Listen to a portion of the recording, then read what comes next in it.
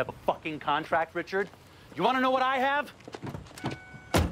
Uh, A fucking car whose doors open like this. Not like this, not like this.